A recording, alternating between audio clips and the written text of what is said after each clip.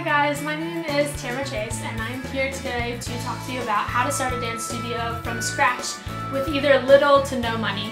Um, I'm on, i am in the middle of starting my second dance studio with no startup funds available. Um, everything is from scratch.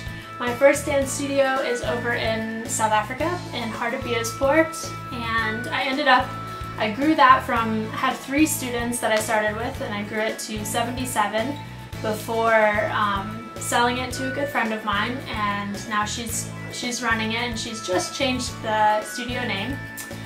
So I had that one over there and now I'm back in the States and starting a new dance studio um, here in Florida again from from scratch, zero students from the ground up.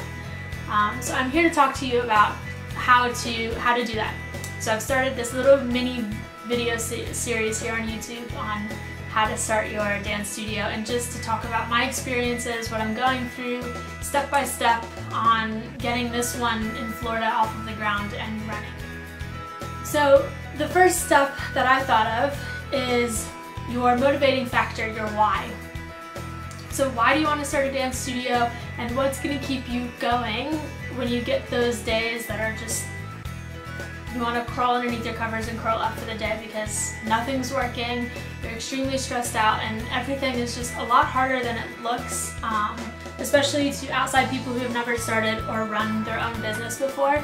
It looks like you get all the glory and fame, like, oh, you make your own schedule, you, you know, do your own hours, you're your own boss, which is great, yeah, but there's a lot of extra work that comes, that's involved with being able to have those benefits. And that's what the work that a lot of people don't see, that behind the scenes stuff that goes into building something.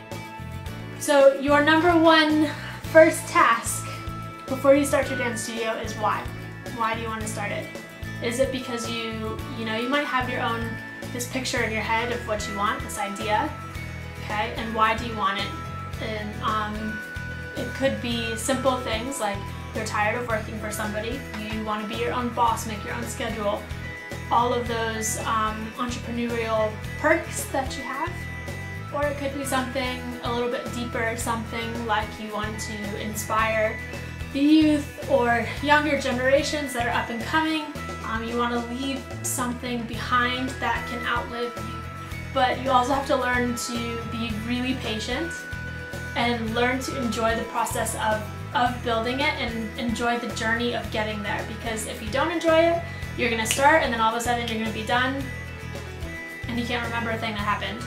So yeah, you might be having a challenge with your QuickBooks and organizing accounts and registering with the IRS, but it might be super overwhelming and confusing. Think of it as being grateful for you to be able to have these experiences to learn from. Yeah, you're learning something that not everybody gets the chance to learn. How lucky are you to be able to be in this situation to figure it out?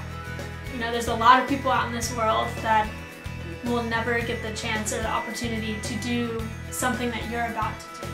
There's always somebody else who would kill to have your problem. So whenever you feel like this is getting too overwhelming or it's too much to handle, just think there's somebody out there in the world that's that is worse off than you, that's having a worse day, is stuck in a worse situation. Especially think of all the people in the third world countries, you know, after being in South Africa and moving back here. There's somebody who would kill to be in your shoes no matter how stressful and how hard it's going to be. So what's your motivating factor? Go ahead and comment your answer and your response below. I would love to hear them as I'm sure everybody else in the community would as well.